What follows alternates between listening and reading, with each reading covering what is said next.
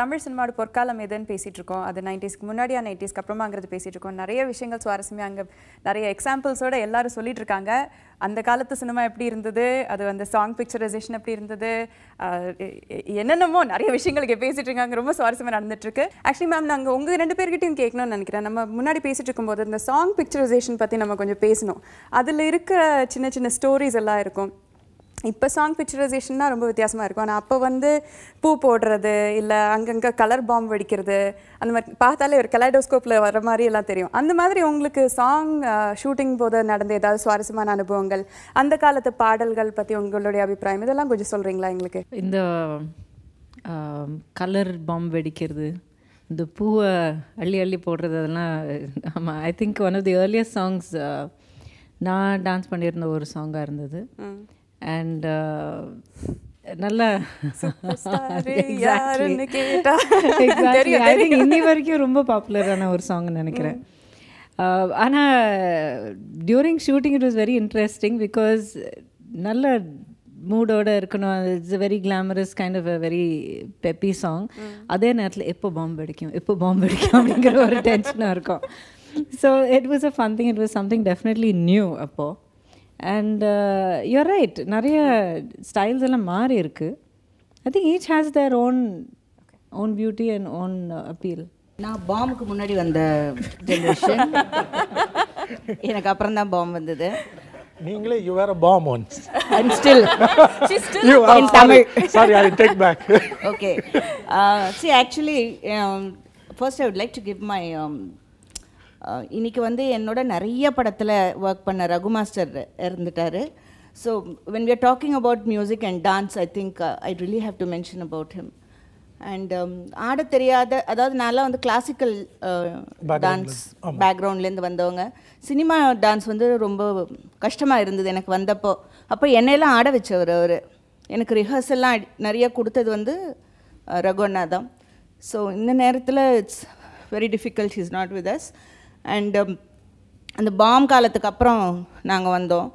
And இப்போ இருக்கிற development நான் என்ன ஃபீல் பண்ணேன்னா டான்ஸ் எல்லாம் வந்து ரிதம்க்கு தகுந்த மாதிரி சேஞ்ச் ஆகிருக்கு அப்போ இப்போ நிறைய முன்னேறி இருக்கு. எப்படின்னா எங்களுக்கு ஒன் டூ சொன்னாங்க இப்போ த்ரீ ஃபோர் ஃபைவ் சொல்கிறாங்க வாட் ஐ நோட்டிஸ்ட் நாங்கள் போது ஒன் டூ மர் மாஸ்டர் இப்போ த்ரீ ஃபோர் ஃபைவ் சிக்ஸ் அப்படிங்கிறாங்க. So that's development I guess so otherwise அப்போ இருந்த மியூசிக்கு தகுந்த மாதிரி ஸ்டெப்ஸ் எல்லாம் இருந்தது. அண்ட் நான் நிறைய வந்து அந்த பாம் கலாச்சாரம் வந்து தெலுங்குலேருந்து வந்தது. இந்த colour colour bomb. Colour colour பூ and all that so anyway ஜனங்களுக்கு பிடிச்சது அது. ஸோ ஐ திங்க் எதுவுமே கெட்டு போகல. அப்பப்போ இருந்த மியூசிக்கு தகுந்த மாதிரி இட்ஸ் நீங்கள் வந்து அன்னைக்கு நடிகையா கோரியோகிராஃபர்ஸோட ஒர்க் பண்ணதுக்கும் இன்னைக்கு ஒரு டைரக்டரா கோரியோகிராஃபரோட ஒர்க் பண்ணுறதுக்கும் ஏதாவது டிஃப்ரென்ஸ் ஃபீல் பண்ணுறீங்களா அப்போ வந்து லைக் இப்போ நான் டான்ஸ் மாஸ்டர்ஸ் எல்லாருமே வந்து கொஞ்சம் கிளாசிக்கல் பேக்ரவுண்டோட வந்திருந்தாங்க. ஸோ வந்து நிச்சயமாக வந்து இப்படி தான் இருக்க போகுது அப்படின்னு கொஞ்சம் எங்களுக்கு தெரியும். இப்போ வந்து நான் நினைக்கிறேன் மாஸ்டரோட மூடுக்கு தகுந்த மாதிரி மூமெண்ட்ஸ் அது குவைட் ஸ்கேரி மோர் ஒரு ஜிம்முக்கு போயிட்டு வந்த ஃபீலிங் இருக்குது எனக்கு பார்க்கும்போதே. ஸோ ஆடுறவங்களுக்கு இன்னும் கூட கஷ்டமாக இருக்கலாம்.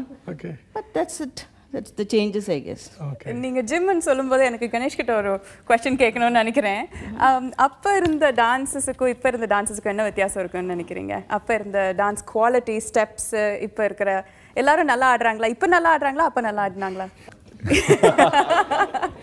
இல்லை ஐ திங்க் இந்த ஜென்ரேஷனோட எல்லா ஆக்டர்ஸ் வந்து நம்ம வந்து நைன்டீன் எயிட்டிஸ் நைன்டிஸோட ஆக்டர்ஸ் தான் ஒரு இன்ஸ்பிரேஷன் பார்த்து வந்திருக்கோம். Kamal sir I think dance legend அவர் தான் பார்த்து வந்து டான்ஸ் கிளாஸஸ் போயிட்டு பல டான்ஸ் ஃபார்ம்ஸ் கற்றுக்கிறதுக்கு முயற்சி பண்ணிட்டு இருக்கோம். இப்போ வந்து நிறைய டான்ஸ் ஃபார்ம்ஸ் பார்த்தீங்கன்னா சால்சா ஹிப்ஹாப் நிறைய வெஸ்டர்ன் ஃபார்ம்ஸ் அந்த டைமில் ஐ திங்க் கமல் சார் வந்து வென் ஹீஸ் டு டூ அவர் பரதநாட்டியம் பண்ணும்போது ஐ டோன்ட் திங்க் இப்போ இந்த காலத்தில் I can say any hero அந்த மாதிரி ஒரு டான்ஸ் ஃபார்ம் பண்ண முடியும். அந்த அத்தாரிட்டியோட ஸோ அந்த கிரேஸோட அந்த அத்தாரிட்டியோட அந்த இமோஷன்ஸோட ஏன்னா அவ்வளோ ஒரு இமோஷனல் டச் இருந்துச்சு.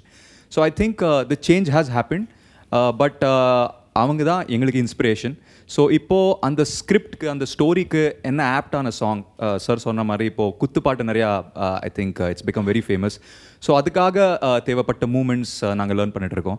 ஸோ ஐ திங்க் அந்த சேஞ்ச் வந்து அந்த ஸ்டோரியில் ஐ திங்க் ஸ்டோரி பேஸ் ஆடியன்ஸோட ரிக்குவயர்மெண்ட் அப்படி இருக்குன்னு நினைக்கிறேன். ஹரிஷ் ராகவேந்திரா ஒரு மியூசிஷியன் சிங்கர் லிரிசிஸ்ட் இப்போ கவிஞர். ஒரு ஹோல் பர்ஸ்பெக்டிவாக எனக்கு சொல்ல ஹரிஷ். அதாவது திரைப்பட இசை அன்னைக்கு பெரிய இளையராஜா ஃபேன் தெரியும்.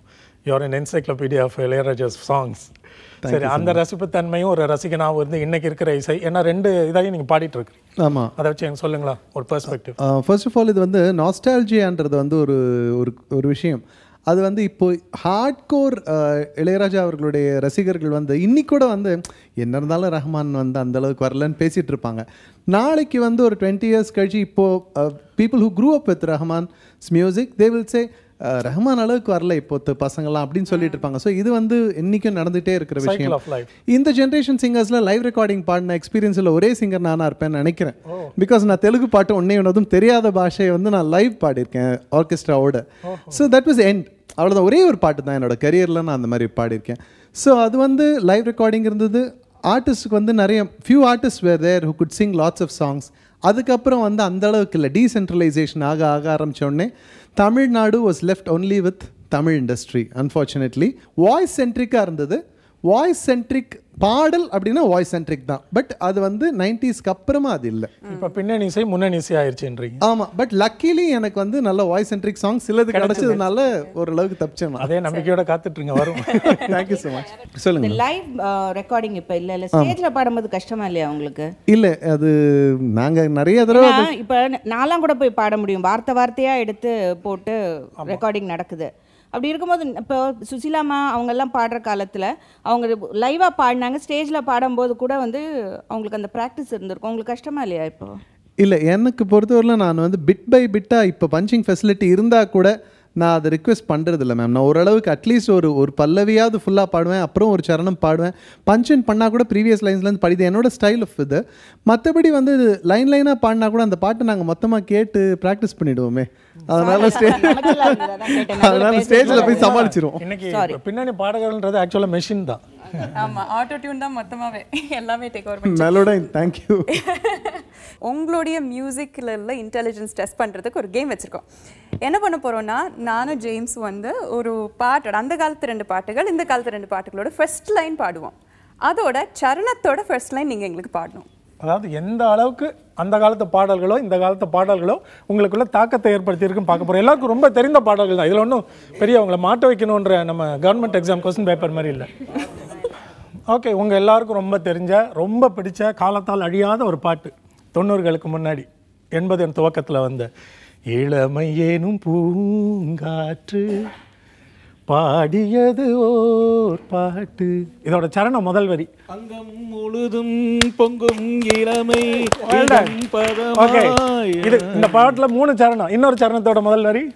மண்ணில் விழுந்து இளமை இன்னொரு சரணம்? மலரின் சரி பரவாயில்ல. இது ஒரு சரணத்தோட வரி. மனசுல நிக்கிற அளவுக்கு பாடல் உருவாக்கப்பட்டிருக்கு. ஒரு சின்ன உதாரணம் அவ்வளவுதான். அதே சமயத்துல வந்த இன்னொரு பாட்டு. இன்னொரு பாட்டு. இது கொஞ்சம் டிஃப்ரெண்ட் மெல்லிசை ஜான்ரல பாட்டு. இசையில. ஆமா. எங்கேயும் எப்போதும் சங்கீதம் சந்தோஷம். இன்னொரு அடுத்த சரணம்? காலம் சல்லாப காலம். இன்னொரு உலகம். இன்னும் ஒண்ணு இருக்கு. ஏ எல்லாருக்கும் ரெண்டு சரணம் தான் தெரிஞ்சிருக்கு. மூணாவது ஆ, என்னது? சரி பரவாயில்ல. ஆடை இல்லாத மேனி. அவன் பேரன். ஸோ ஓரளவுக்கு எல்லாருக்கும் தெரிஞ்ச இரண்டு பாடல்களை சொல்லியிருக்கோம். அதில் சரணம் மனசில் நிற்கிற அளவுக்கு பாடல் உருவாக்கப்பட்டு பட காட்சினாலையும் காரணமாக இருக்கலாம் அவங்க மனசில் நின்றுச்சு. தொண்ணூறுக்கு பிறகு வந்து இப்போ இருக்க ஏதாவது ஒரு பாட்டு ஒன்று சொல்லுங்களேன். சரி இந்த பாட்டு எல்லாருக்கும் தெரிஞ்சிருக்கும்னு நினைக்கிறேன். இது கொஞ்சம் ஈஸியான பாட்டு தான். காதல் ரோஜாவே எங்கே நீ எங்கே? மைக்குங்க தென்றல் என்னை தீண்டினான். சேலை தீண்டும் ஞாபகம் சின்ன பூக்கள் பார்க்க அடுத்த சரணம். பாடட்டுமே நல்லா பாடுறாரு. ப்ளீஸ் கண்டினியூ சரி அடுத்து. அடுத்த சரணம் பாடுங்க. வீசுகின்ற தென்றலே வேலையில்லை நின்று போ. பேசுகின்ற வெண்ணிலா பெண்மையில்லை ஓய்ந்து ஓகே ஓகே குட் வளர்த்த தோட்டமே அடுத்து நீங்க பாடுறீங்களா? அதை பாட நீங்க படிச்சிருங்க பரவாயில்ல. எனக்கு பாட ரொம்ப பயமா இருக்காது நானும் எனக்கு நான் அடிச்சா தாங்க மாட்டேன். நாலு நாள் தூங்க மாட்டேன். நாலு நாள் தூங்க மாட்டேன். குத்துப்பாட்டு எக்ஸ்பர்ட்ஸ் எங்க? இது இதுல ஒரு இதுல சந்தேகம் வேண்டாம். இது தேட்டர்ல அனல் பறந்த ஒரு பாட்டு. ஒரு கட்டத்துல தேட்டர்ல அனல் பறந்ததுன்னா பறந்தது. இதுக்கு ஏதோ ஒரு சரண அவரை இயக்குனர் பாடக்கூடாது. ரெண்டு பேர் குத்துப்பாட்டு எக்ஸ்பர்ட்ஸ் இருக்கீங்களே பாடுங்க. எழுதுனருக்கே மறந்து போச்சு. எழுதுனருக்கே மறந்து போச்சு. அதுதான் மெலடிக்கும் டிஃபரன்ஸ் ஆ அதான் சார் ஐயோ நம்ம இல்ல இல்ல நம்ம அங்க அந்த வர மெலடி வந்து அழகான மெலடி தான் மனசுல பதியுது சார் நைன்டி ஒன்ல வந்த பாட்டு அந்த சரணத்தை பாடுறோம். எயிட்டிஸ்ல வந்த பாட்டு சரணத்தை பாடுறோம். இப்போ வந்த பாட்டு அது நீங்க எழுதின பாட்டு. உங்களுக்கே சரணம் தெரியல. இல்ல இல்ல. இல்ல, அவர் இல்ல மைக் மைக்ல சொல்லுங்க மைக்ல சொல்லுங்க. இல்ல அதாவது உதாரணத்துக்கு இது வந்து ஒரு ஹீரோ அறிமுக பாடல். ஸோ அவருடைய ரசிகர்களுக்காக உருவாக்கப்படுகிற ஒரு பாடல். பட் இதையே ஒரு நாற்பது ஐம்பது வருடங்களுக்கு முன்னாடி ரீவைண்ட் பண்ணி பார்த்தீங்கன்னா ஹீரோ அவருடைய தோழர்களோட வராரு. அதோ அந்த பறவை போலன்னு பாடுறாரு. அதை பாட சொன்னீங்கன்னா முழு பாட்டையும் எல்லாரும் பாடுவோம். அதுக்கு அந்த கால மாற்றத்துல மாறி இருக்கிற விஷயங்கள்ன்றதுக்காக நாங்க சொல்ல வந்தோம். அன்னைக்கும் கதாநாயக அறிமுக பாடல் தான். பொதுவாக மனசு தங்கம். பொதுவாக என் மனசு தங்கான முரட்டுக்காலை அதான். ஆ, ஆயிரத்தி ஒருவன்ல இருந்து ஒரு முப்பது வருடங்கள் கழிச்சு வந்த படம். அதற்கு பிறகு முப்பது வருடங்கள் கழிச்சு வரும்போது மனசுல நிக்காத மாதிரி ஒரு கதாநாயக அறிமுக பாடல். ஸோ நம்ம கையில தான் இருக்குன்றது நான் நினைக்கிறேன். அந்த ஏன்னா அவருக்கே இப்போ அதே நடிகருக்கே கொள்கை அறிமுக பாடல் இன்னொரு படத்துல வந்தது. நல்ல உற்சாகப்படுத்துற மாதிரி ஒரு பாடல். இல்ல? தோழான்னு ஒரு பாட்டு. ஆ ஸோ அந்த மாதிரி நம்மளோட ஆ நம்மளுடைய விருப்பம் தான் நம்மளுடைய கதாநாயகனை எப்படி அறிமுகப்படுத்தணுன்றது அந்த மாதிரி மனசுல நிக்கிற பாடல்கள் உருவாக்கணுன்ற ஆசை எல்லாருக்கும் இருக்கும். இதுதான் நம்மளுடைய எண்ணங்கள். என்ன பேசுறதுன்னு தெரியாம இருந்தப்ப பாயிண்ட்ஸ் எல்லாம் அவங்களே எடுத்து கொடுத்தாங்க. இன்னைக்கு வந்து விஞ்ஞான வளர்ச்சி நிறைய இருக்கு. ஒரு சாங் அன்னைக்கு வந்து ஒரு ஆடியோ லான்ச்னு வச்சுக்கோங்க. ரோட்ல பூரா போஸ்டர்ஸாக தான் இருக்கு. அவங்க ஃபேஸ்புக்கில் போடுறாங்க ட்விட்டரில் போடுறாங்க. இப்போ ஒரு படம் ரிலீஸ் ஆகுதுன்னா அந்த hero heroine music director director எல்லாரும் சேனல் சேனலாக உட்காந்து பாருங்க சொல்றாங்க. ஸோ அதனால வந்து இவங்களுக்கு பாப்புலர் நல்ல ஒரு பப்ளிசிட்டி கொடுக்கறதுக்கு உண்டான வாய்ப்பு இன்னைக்கு இருக்கு. இன்னைக்கு இந்த பாடல்கள் ஹிட் ஆகிறதோ படங்கள் ஹிட் ஆகிறதோ அதுக்குண்டான விளம்பரத்தை கொடுக்கறதுக்கு உண்டான வாய்ப்பு இருக்கு. பட் எயிட்டிஸில் அதெல்லாம் இல்லை. இங்க ஒரு பாயிண்ட் சொல்லிட்டு நீங்க இல்ல போகலாம் சார். இவ்வளவு சொல்லியும் படங்கள் வெற்றி அடைய முடியல இல்ல இல்ல. எதுக்கு சொல்றேன்னா எயிட்டிஸ்ல அப்படியெல்லாம் எதுவுமே இல்லாத ஒரு பதினாறு வயதிலே சிகப்பு ரோஜாக்கள்லாம் ஹிட் ஆச்சுன்னா விளம்பரங்கள் செய்யல. நார்மலா போஸ்ட் அடிச்சாங்க படங்கள் போச்சு அதை கேட்டு கேட்டு வந்தோம். வெளியே வரவன் அடுத்த இந்த விஞ்ஞான வளர்ச்சிக்கு அப்புறம் வந்த வெற்றியை விட இந்த வளர்ச்சிகள்லாம் இல்லாமையே வெற்றி பெற்றிருக்காங்கன்னா அதுதானே பொற்காலம். ஆ. நீங்கள் ஊடகங்கள் வந்து இன்னைக்கு வந்து கேட்குறதுக்கு நிறைய அதாவது ஒரு சாங்கை பாப்புலர் பண்ணுறதுக்கு நிறைய சோர்ஸ் இருக்குன்னு சொல்கிறீங்க இல்லையா? அதுதான் அகேன்ஸ்டாக இருக்குது. இன்னைக்கு அது எப்படின்னு கேட்டிங்கன்னா ஒரு சாங் வரும்போது இன்னொரு சாங் இந்த ஓவரலாப் ஆயிரும் ஸோ இதுதான் மெயின் அதுதான் மெயின் பாயிண்ட் இன்னொரு விஷயம் என்னன்னு கேட்டிங்கன்னா இன்னைக்கு அன்ன இன்னைக்கு இருக்கிற எஃப்எம்ஸ் இன்னைக்கு இருக்கிற சேனல்ஸ் எதுவுமே அப்போ கிடையாது. ஸோ அந்த காலத்தில் வந்து ராத்திரி ஆச்சுன்னா காது பக்கத்துல டிவி ரேடியோ வச்சுட்டு படுத்துருக்க வேண்டியது. இல்லை சோனி நேஷனல் பானாசனிக் வாங்கி அதில் கேசட்டை போட்டு சாங் கேட்டுட்டு இருக்க வேண்டியதுதான். அந்த காலகட்டத்தில் வந்து அதுதான் இருந்துச்சு. அதனால நம்ம அதுதான் மனசுல பதிஞ்சு பதிஞ்சு பதிஞ்சு இப்போவும் வந்து அவர் பாடுற அளவுக்கு இருக்குது. இன்னைக்கு அப்படி இல்லை. நிறைய விஷயங்கள் வந்து அமுக்கிடுச்சுங்கிறது தான் உண்மையை தவிர அப்பவும் சரி இப்பவும் சரி மியூசிக் டேரக்டர்ஸ் எந்த மியூசிக் டேரக்டரும் சரி எந்த கவிஞரும் சரி நம்ம வந்து இந்த பாட்டு ஹிட் ஆகக்கூடாதுன்னு போடுறதே கிடையாது. அவங்க ஃபுல் சோலை போட்டு தான் போடுறாங்க. ஸோ வந்து எல்லா காலத்துலேயும் வந்து பாடல் காட்சி பொற்காலம் இன்னைக்கு வந்து உண்மையிலேயே வந்து ரொம்ப கஷ்டமான ஒரு காலத்துல இருக்கும். எப்படின்னு கேட்டிங்கன்னா அவங்க சொல்றாங்க நிறைய சேனல்ஸ் இருக்கு நிறைய விஷயங்கள் இருக்குன்னு. நீங்க வீட்ல சாதாரணமா உட்காந்து ஒரு சேனல் பாருங்க. ஒரு சாங் போர் அடிச்சுன்னா உடனே இமீடியட்டா அடுத்த சேனல் அடுத்த சேனல் அடுத்த சேனல் அடுத்த சேனல் இன்னைக்கு வந்து அன்னைக்கு வந்து தமிழ்ல மட்டுமே ஒரே ஒரு காம்படிஷன் இன்னைக்கு அப்படி கிடையாது. இன்னைக்கு வந்து வெப்சைட்லேயும் சரி டிவிலையும் சரி எம்டிவிலையும் சரி வேறு வேறு லாங்குவேஜில் இருந்து பாட்டு கேட்க வேண்டியதாக இருக்குது அதுக்கு ஈக்குவலாக வந்து இன்றைக்கி நாங்களும் வந்து தமிழ் சினிமாவை போட்டி போட வேண்டியதாக இருக்குது ஆல் டுகெதர் இன்னைக்கு தான் வந்து ஆஸ்கார் வரைக்கும் நம்ம போயிருக்கிறோம். எல்லா புகழும் இறைவனுக்கு. இந்தாங்க. சத்யா. அப்படி இல்லை பாடல் வந்து சிச்சுவேஷன் தாங்க அந்த பாட்டு நிறுத்துறது எதுவுமே. நீங்கள் நினைக்கிறீங்க என்ன இருந்தாலும் நல்ல டியூனை போட்டு நல்ல மெலடியாக போட்டாலும் அது வந்து கேட்குறது நல்லா இருக்கும் மொழியே அந்த பாடல் சமுதாய உணர்வோடோ இல்லை குடும்ப உணர்வோடோ இல்லை ஃப்ரெண்ட்ஷிப் உணர்வோடோ இருந்தால் தான் அந்த பாட்டு ஜெயிக்கும். இது இந்த காலத்தில் அந்த காலத்தில் நடக்கிறது. அற்புதமான வரிகள் சொல்லுவோம். அந்த சுச்சுவேஷன் ரொம்ப முக்கியம். இப்போ எல்லாம் சாதாரணமாக ஒரே சுச்சுவேஷன் தான். டாஸ்மாக்கில் ஒரு சுச்சுவேஷன் என்ன? லவ் வீட்டில் ஒரு சுச்சுவேஷன் அப்புறம் அட்ரா அவளை புட்ரா அவளை ஒரு சுச்சுவேஷன் அப்போல்லாம் ஒரு ஒரு ஹீரோ ஹீரோயின் பார்த்த உடனே முதல்ல கேட்குறது எம்ஜிஆர் வந்து பணக்கார குடும்பத்தில் ஒரு கட்டமையில் உட்காந்துருப்பாரு சரோஜா ஒரு மாதிரி பார்ப்பார் அதுக்கு அந்தமா பாட ஆரம்பிச்சிருவாங்க. இதுவரை நீங்கள் பார்த்த பார்வை இதற்காகத்தானா? இப்படி இருந்து சொல்லியிருந்தால் தனியே வருவேனா? சொல்லி தான் வந்திருக்க மாட்டாங்களா? அப்படி ஆனால் இப்போ என்ன தெரியுமா? டாடி மம்மி வீட்டில் இல்லை. பாடுறான் ரெடியாக இருக்கிறாங்க அவங்க. அந்த மாதிரி ஆச்சு பாட்டு. அப்போல்லாம் ஒரு பாட்டு ஒரு ஒரு பொண்ணை காதலிக்கணும் ரொம்ப கஷ்டப்பட்டு ஏங்கி பாடல்களை பாடி அப்படியே மயக்கி மாசிலா நிலவே நம்ம காதலி அப்படிலாம் பாடணும். இப்போ அப்படி இல்லை பாட்டு. ரொம்ப சாதாரணமாக போச்சு. எதிர் வீட்டில் அவன் இருந்தால் என் வீட்டில் நான் இருந்தேன். அவளை லவ் டார்ச்சர் பண்ணி தெரியலன்ற லவ்வுக்கு எதுங்க டார்ச்சரு லவ்ன்றது நல்லது. அதை போய் டார்ச்சர் பண்ண தெரியலன்னு ஃபீல் பண்ணுறான் இவன். அப்படி ஆயிடுச்சு பாடல்கள். அதனால வந்து சமுதாய உணர்வோடோ உண்மையான அன்போட ஒரு பாட்டு இருந்தால் தான் நிற்கும் உள்ளம் என்று கோவிலிலே தெய்வம் வேண்டும் அன்பே வாழ்ற பாட்டு இன்னும் நூறு வருஷத்துக்கு அப்புறம் நிற்கும் ஒவ்வொரு பூக்களுமே அந்த பாட்டோட என்னங்க ஒவ்வொரு பூக்களுமே. அதான் அந்த மாதிரி சில பாடல் தான் நிக்குது. இன்னைக்கு இருக்குன்னு தேடி சொல்லணும். ஆனா அன்னைக்கு தான் அத்தனை பாடல் நின்னுது. அத்தனை பாடல் நீ நின்னுது. அத்தனை பாடல்களுமே அன்னைக்கு வரிகள் நின்னுது. இழந்த பாடல் இருந்துச்சு. ஆனா அது வந்து குத்துப்பாட்டு கணக்கில் போனாலும் பாடல்கள் அத்தனையுமே வெற்றி பெற்றது இன்னைக்கு நிக்குது. காரணம் ஒரே காரணம் சிச்சுவேஷன் அந்த கருத்து அந்த சமுதாய உணர்வு சொ- சொல்லுங்க சொல்லுங்க சொல்லுங்க. நீ தான் நீ தான் பல்பு நான் தான் ஸ்விட்ச் இந்த லைன் யார் எழுதுனது? சொல்லுங்க எல்லாம் சிரிக்கிறீங்க. யார் எழுதுனது லைன் தெரியலையே. பட்டுக்கோட்டை கல்யாண சுந்தரம். ஓஹோ அப்போ எழுதிட்டா ஆமா. கரெக்டான வார்த்தை டைம் வந்து நல்ல பாடல்கள் மட்டும் தான் வச்சுக்கிட்டு இருக்கு. மற்ற பாடல்கள்னா பாடல்கள்னா காலமே. அனுப்பிடும். காலங்கள் வந்து அழிச்சிருது. நமக்கு தெரியறது இல்ல காதலன் வந்த புதுசுல எனக்கு வந்து ரொம்ப பிடிச்ச பாடல் முகாபலாவும் ஊர்வசியும் தான் ஆனா இன்னைக்கு என்னால அந்த ரெண்டு பாடலையும் கேட்க முடியாது. எனக்கு என்ன வழி பாட்டு மட்டும் தான் கேட்பேன் டைம் வந்து ஆட்டோமேட்டிக்கலா ஃபில்டர் ஃபில்டர் பண்ணிடுது. தேவையில்லாத பாடல்களை எடுத்துட்டு வந்துடுது. ஸோ அந்தந்த பீரியட்ல நல்ல பாடல்கள் எல்லா பீரியட்லயும் வந்துகிட்டு இருக்கு. இன்னைக்கு முக்கியமான சத்யாவும் அதான் சொல்லணும்னு நினைச்சாரு. இன்னைக்கு வந்து ஒரு வாரத்துக்கு ஒரு அஞ்சுல இருந்து ஒரு பத்து ஆடியோ கேசட் ரிலீஸ் ஆகுது. ஆடியோ சிடி ரிலீஸ் ஆகுது. ஸோ ஒரு ஒரு ஐம்பது அறுபது பாடல்கள் ஒரு வாரத்தில் வெளிவருது. எந்த பாடல்களை கேட்க கேட்க போகிறோம் அப்படின்னு சொல்லிட்டு. ஸோ இன்னொரு விஷயம் சொன்னாங்க. டெக்னாலஜி ஒரு பெரிய அட்வான்டேஜ் இப்போ இருக்குன்னு சொல்லிட்டு. ஆக்சுவலி அது பெரிய டிஸ்அட்வான்டேஜ் தான். நீங்க வந்து லிரிக்ஸ் பத்தி சொன்னீங்க. உங்ககிட்ட லிரிக்ஸ் ஜெனரேட்டர் சாஃப்ட்வேரே இருக்குன்னு சொல்றாங்களே அதை பத்தி கொஞ்சம் சொல்லுங்களேன். இப்ப கவிஞர்களே தேவையில்லாத அளவுக்கு வந்துட்டோம் நம்ம. அது இப்போ இல்லை. அது கொஞ்ச நாள் ஆகும் அது பண்ணுறதுக்கு ஆனால் அதுக்கான வேலைகள் பண்ணிட்டு இருக்கேன். நிறைய வேலைகள் எப்படி ஒர்க் ஆகும்னு சொல்லுங்க.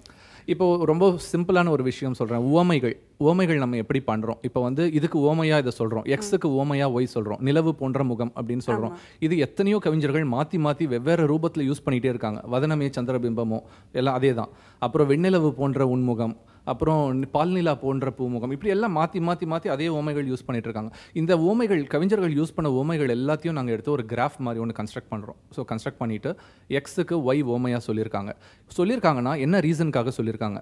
இப்போ ரயில் போன்ற கூந்தல் அப்படின்னு சொல்கிறாங்கன்னா ரயிலோட எந்த ஃபீச்சரை கூந்தலோட எந்த ஃபீச்சர் கூட கம்பேர் பண்ணுறாங்க ரயிலோட கலரையா ரயிலோட லென்த்தையா இது மாதிரியான விஷயங்கள்லாம் ஸ்டடி பண்ணிவிட்டு நாங்கள் வந்து ஒரு ஏதாவது ஒரு எக்ஸும் ஒய்யும் எடுங்க. ரெண்டுத்துக்கும் நடுவில் ஒரு லிங்க் இல்லாமல் ஒரு எக்ஸ் அண்ட் ஒய் எடுங்க. ஆனால் ஃபீச்சர்ஸ் நிறைய மேட்ச் ஆகணுன்ற மாதிரி பார்த்து மெஷின் ஆட்டோமேட்டிக்காக அந்த ரெண்டுத்தையும் செலக்ட் பண்ணி இது போல் இது அப்படின்னு சொல்லிட்டு ஒன்று கிரியேட் பண்ணணும் அப்படின்னு சொல்லிட்டு பாடல்களில் இருந்த உமைகளையே வச்சுக்கிட்டு ஆனால் இது வரைக்கும் பாடல்களில் யாருமே சொல்லாத உமைகளை உருவாக்க முடியுமா அப்படின்னு சொல்லிட்டு மிஷின்ஸ் வச்சு பார்க்கணும்.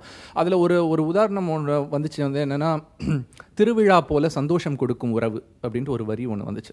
கம்ப்யூட்டர் ஜென்ரேட் பண்ண ஒரு ஓமை மிஷின் ஃபஸ்ட்டு ஃபஸ்ட்டு வேர்ல்டில் வந்து ஒரு மிஷின் ஒரு ஓமையை கிரியேட் பண்ணியிருக்கு. அதுதான் நான் ஷேர் பண்ணணும்னு நினச்சேன்னு சொல்லி போட்டோன்னே எல்லாம் ரொம்ப ஆச்சரியத்தில் இருந்தாங்க. ஸோ இது மாதிரி சின்ன சின்ன முயற்சிகள் ட்ரை பண்ணி பார்க்கலாம் அப்படின்றது தான்.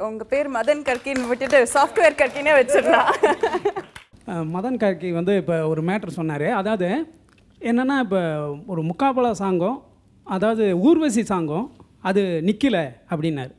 ரெண்டு விஷயம் இருக்குது ஒன்று அந்த ரெண்டு சாங்கு தான் அந்த காதல் சூப்பர் ஹிட் ஆகிறதுக்கு மிகப்பெரிய காரணமாக இருந்தது. அதை யாரும் மறக்க முடியாது.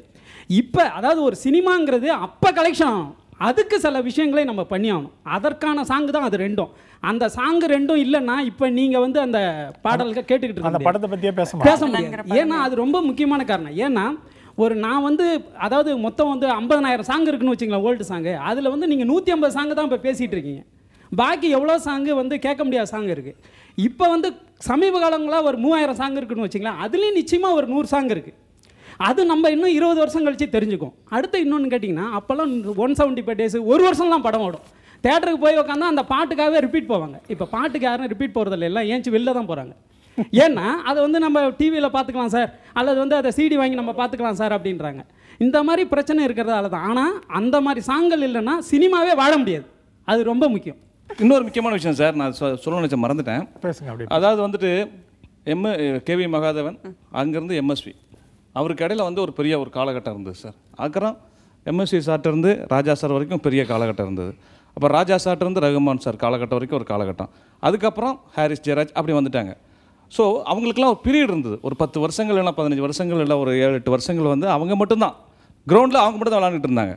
ஸோ வந்து தனியாக நின்று தனி நிறைய சாங்ஸ் இட்டு கொடுக்குறது ஒரு பொற்காலமாக இல்லை எங்கே பார்த்தாலும் மியூசிக் டேரக்டர்ஸ் எங்கே பார்த்தாலும் கம்போசிங் எங்கே பார்த்தாலும் சாங் ரெக்கார்டிங் அங்கே சாங்ஸ் கொடுக்கறதுக்கு பொற்காலமாக அப்படின்றத டிசைட் பண்ணுங்கள் eighties nineties two thousand three thousand எவ்வளோ போனாலும் இண்டஸ்ட்ரிங்கிறது ஒன்று இருக்கும். அதோட கான்டென்ட் டெலிவரி ஃபார்மேட் தான் மாறிட்டு இருக்கும் அந்த காலத்தில் it was maybe touring talkies மாதிரி இருந்தது. அதுக்கப்புறம் வந்து ஷெட் கட்டினாங்க. அதுக்கப்புறம் தியேட்டர் போட்டாங்க ஏசி போட்டாங்க. இப்போ வந்து இப்போ Multiplex எல்லாம் ஃபோன்லேயும் டேப்லையும் எல்லாத்துலேயும். வருது. So that is always gonna keep changing and அது தகுந்த மாதிரி இவர் சொன்ன மாதிரி நம்ம பிஸ்னஸ் ப்ராக்டிசஸ் கூட மாறணும். அதாவது ஒரு வருஷத்துக்கு நான் படத்தை போட்டு வெற்றிகரமாக ஓட வைக்கிறதுங்கிறது நடந்தால் இந்த காலத்தில் நடந்தால் பெரிய விஷயம். But at the same time you have to இத்தனை பிரிண்ட்ஸ் போடணும் இவ்வளோ ரெவன்யூ பிடிக்கணும் அதெல்லாம் okay that's it's economics it's business dynamics that keep changing சினிமாவுடைய content நீங்கள் பார்த்தீங்கன்னா ஹிட் படங்கள் என்றைக்குமே இருக்கும். ஏதோ ஒரு காரணத்தினால ஏதோ ஒரு படம் கண்டிப்பாக ஜனங்களுக்கு பிடிக்கிற மாதிரி இருக்கும். இல்லை உண்மையிலே அது வந்து அவ்வளோ யூனோ அவ்வளோ திறமை உள்ள ஒரு காம்போசிஷனாக இருக்கலாம். So many different reasons for that but எனக்கு என்னென்னா வாட் ஐ ஃபீல் இஸ் நீங்கள் எல்லோரும் திட்டாதீங்க. பட் இந்த காலத்து பாட்டு அதாவது இந்த இந்த டூ தௌசண்டுக்கு அப்புறம் இப்போ இந்த லேட்டஸ்ட் ஜென்ரேஷன் வர பாட்டெல்லாம் எனக்கு அவ்வளோவா நிற்கிற மாதிரி பாட்டு என்னால் பார்க்க முடியல. பிகாஸ் என்ன பா என்னை பொறுத்த வரைக்கும் பாட்டு வந்து கேட்குறது மட்டும் இல்லை. பார்க்குறதுக்கும் ஏன்னா this is cinema it's an audio visual medium I want to see the song also எதுவுமே வந்து அவ்வளோ நிற்கலை கண்ணில் மனசில் நிற்கலை அந்த விஷுவல்ஸ் ஆகட்டும் இப்போ ஒரு ரொமான்ஸ் சாங் நீங்கள் எடுத்தீங்கன்னா ஹீரோ ஹீரோயின் ரொமான்டிக்காக போஸ் பண்ணி இல்லை நடித்து அந்த மூமெண்ட்ஸ் மாதிரி எதுவுமே அவ்வளோவா பார்க்க முடியல. எல்லாமே வைட் சாங் எல்லாமே டங்கு டங்கு டங்குன்னு ஆடுறாங்க. Everything this nothing really romantic about it அது அந்த மாதிரி ஒரு பாட்டாக இருந்தால் அந்த மாதிரி பண்ணுறதுல தப்பு இல்லை. ஆ முகமே தெரியறதில்ல. அதில் பாதி நேரம் டூப் வச்சு ஆடுறாங்களா இல்லை வேற யாரும் செகண்ட் பேர் ஆடுறாங்களா ஒன்றுமே தெரிய மாட்டேங்குது. ஸோ அது கண்டிப்பாக எனக்கு ஒரு பெரிய கம்ப்ளைண்ட் இப்போ இருக்கிற தாமிரா நீங்கள் சொல்லுங்களேன். ரெண்டு இரண்டாயிரத்தில் இந்த மாதிரி இப்போ வர படங்களில் என்னை பாதிக்கிற மாதிரியான பாடல் காட்சிகள் இல்லைன்றாங்க. நீங்கள் சொல்லுங்களேன் பொதுப்படையாக நீங்கள் சொல்லுங்கள் அது உண்மைதான். இங்கே என்ன பிரச்சனை இருக்குன்னா முதல்ல பாடல்கள் அப்படின்னு சொல்லி சொன்னால் நம்ம என்ன பண்ணுறோம் ஒரு நாயகனுக்கும் நாயகிக்கும் இருக்கிற கெமிஸ்ட்ரியை பார்க்குறோம். ஒரு பாடகனுக்கும் பாடகிக்கும் ஒரு கெமிஸ்ட்ரி இருக்கணும்ல. அந்த கெமிஸ்ட்ரி இல்லவே இல்லை. இன்டர்லியூட் மியூசிக் இப்போ நமக்கு வந்து அந்த அப்போ- எயிட்டிஸில் நம்ம என்னென்னா பாட்டை எப்படி நம்ம வந்து கொண்டு போய் சேர்த்துக்கிட்டே இருந்தோம்? ஹம் பண்ணிக்கிட்டே இருந்தோம் ஒவ்வொரு பாட்டையும். இன்றைக்கி எந்த பாட்டையாவது நம்ம ஹம் பண்ண முடியுதா? ஹம் பண்ண முடியாது. இல்லை ஹம் ஹம் பண்ண முடியாது. அப்படி ஒரு ப்ராக்டிஸ் இங்கே இல்லவே இல்லை. அப்படி ஒரு ப்ராக்டிஸ் இல்லை. இன்டர்வியூடையும் வந்து நீங்கள் வந்து ஹம் பண்ணலாம். கரெக்ட் அப்போ ஒரு ஒரு பேக்கேஜ் இருக்குல்ல ஒரு பாட்டோட பேக்கேஜ் முழுமை, இருக்குல்ல அந்த முழுமை இங்கே இல்லை. நீங்கள் வந்து டியூன் ஒன்றா இருக்குது அந்த இன்டர்வியூட் மியூசிக் ஒன்றா இருக்குது. ஆனால் அங்கே அந்த டியூன் பல்லவிலேருந்து ஆரம்பித்து சரணம் முடிஞ்சு மறுபடியும் பல்லவிக்கு வரும்போது அது அவ அழகாக வந்து ஒரு செயின்லிங்காக வந்து சேரும். அந்த வந்து சேரவே இல்லை. அதுதான் ஜீனியஸ் அதுதான் மனசுக்குள்ள வந்து சேரும். அது நடுவில் ஒரே சவுண்டா இருக்கும். இங்கிலீஷ்ல ஒருத்தன் பாடிட்டு இருப்பான். தமிழ் பாட்டுல. இங்கிலீஷ்ல. பரவாயில்லையா? எந்த பாஷையிலும் புரியாது. கேமரா வேற வந்து வந்து போயிட்டு இருக்கோம். ஆமா நீங்க சொன்னீங்கல்ல அதே சிக்கல்கள். ஹீரோ ஹீரோயின் லவ் மூடு சொல்றீங்கல்ல ஹீரோயின் தனியா முப்பது பேரோட ஆடிட்டு இருப்பா. அந்த முப்பது பேர் ஒரே மாதிரி ட்ரெஸ் இருப்பா யார் ஹீரோ நம்மளுக்கு தெரியாது. இந்த பக்கம் ஹீரோ அதே மாதிரி முப்பது ட்ரெஸ் போட்டு ஆடிட்டு இருப்பான் இங்க என்ன அதை விட பிரச்சனை இருக்குன்னா இங்க என்ன பிரச்சனை இருக்குன்னா எல்லாரையும் வந்து இந்த சமூகம் வந்து பொருளாதாரத்தை நோக்கி தள்ளுது. நீங்க எல்லாருமே ஒரே ப்ராடக்ட் எடுக்கிறதுக்கான ஒரு இடத்துல வந்து நிக்கிறீங்க. நம்ம எல்லாமே ஒரே ப்ராடக்ட் எடுக்கக்கூடிய ஒரு இடத்துல வந்து நிக்கிறோம். மகேந்திரன் பாட்டு பண்ணால் அது ஒரு மாதிரி இருக்கும். பாரதி ராஜா பாட்டு ஒரு மாதிரி இருக்கும். பாலச்சந்தர் பாட்டு ஒரு மாதிரி இருக்கும். இன்றைக்கி எல்லாரும் எடுத்தால் ஒரே மாதிரி இருக்குது அந்த ஒரே மாதிரி யுனிக்காக வந்து நிற்கிறோம்ல அந்த யுனிக்காக வந்து நிற்கிறதுனால தான் சீக்கிரம் சீக்கிரம் தோற்று போகிறோம் இன்றைக்கும் வந்து பருவமே புதுவை பாடல் பாடு இன்றைக்கும் விஷுவல் பார்க்க முடியும். இங்கே ரொம்ப சுவாரஸ்யமாக பேசிகிட்டு இருக்கோம் சினிமா பாடல்களை பற்றி அதோட பாடல் காட்சிகளை பற்றி எந்த பாடல் அழகாக இருக்குது எந்த பாடல் நிலச்சி நிற்கிது எயிட்டிஸ் பாடல்களா இப்போ வர பாடல்களா பாடல் எழுதுகிற சாஃப்ட்வேரை பற்றி எல்லாத்த பற்றி பேசிட்டோம். அண்ட் என் கூட இருந்து இந்த எனக்கு ஹெல்ப் பண்ண ஜேம்ஸ் சாருக்கு ரொம்ப நன்றி. இன்னும் சினிமா வந்து பாடல் மட்டும் கிடையாது. பாடல் பாடல் காட்சியை தவிர வேறு நிறைய விஷயங்கள் இருக்குது எல்லாத்தையும் பற்றி பேசலாம். ரிஷி மூலம் தேடல் தொடரும். Happy New Year!